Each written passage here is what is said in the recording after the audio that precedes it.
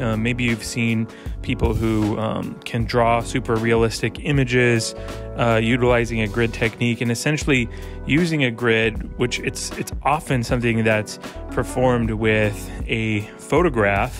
Why would you want to do that? Well, it's basically to break up the segment of the image that you're observing to help you get closer observation and more accurate observation during the drawing stage. And so, uh, can you do it from direct observation? A lot of people often say no.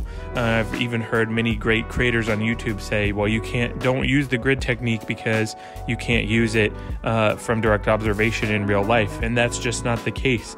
Um, I first became aware of it uh, watching some of James Gurney's content. He has some videos where he actually has uh, a picture plane like this with a grid, and he's able to get a highly detailed, accurate uh, drawing into his sketchbook. So I wanted to kind of emulate that. But even looking at the history of art, we see a lot of artists like Albrecht Dürer, notably, who created um, essentially a picture plane with uh, different threads that he would create a grid and he would look through that grid at the model or the scene that he was painting in drawing, and then he would have on his uh, surface a corresponding grid. And uh, again, looking through at the individual squares of the grid, he's able to kind of break up the shape.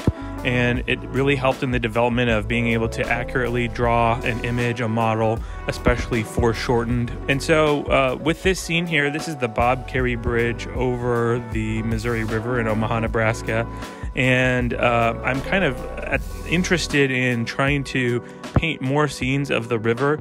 One of my favorite impressionist artists is Alfred Sisley, and he did a lot of paintings of the river and water um, and just the landscape that's near to him. And I thought that it would be kind of interesting to try to do more depictions of the landscape that are really idiosyncratic to the city that I live in. And Omaha is right on the river, uh, and the riverfront is kind of a notable part of our downtown area. And so I thought that it would be kind of interesting to paint this uh, pedestrian bridge that crosses over the river into Iowa and um, to practice painting moving water, practice painting the river, practice painting the landscape, practice painting architecture, and all of that. And I wanted to get my proportions accurate. I wanted to get, you know, a highly uh, accurate drawing of the bridge in particular. And so uh, at the beginning, of course, you saw me kind of create this uh, picture plane. It's just a uh, old photo frame that I made a grid over, and then on my canvas I had a corresponding grid in pencil lines. And what the goal was was to basically look through that picture plane and use a marker and trace uh, the scene that I'm seeing uh, onto that grid, and then look at the grid and then kind of copy the drawing that I had traced onto the uh, canvas. And it just didn't work. The accuracy level was just totally crazy. It wasn't any better than me just eyeballing it. And I think that the essential thing that was lacking was that um, my I didn't have anything to stabilize the distance from my eyes to the picture plane or the viewfinder.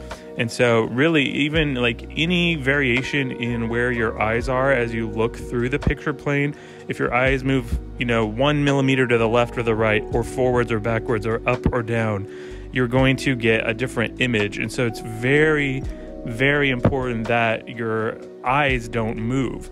And that's why when you look at like this diagram of Albrecht Dürer, you see like a little chin rest or a little reference point where he knows like where he needs to place his face so that he can have the exact identical to the millimeter uh, viewpoint. And really, especially, I think also at this small scale, this is just an 8 by 10 panel.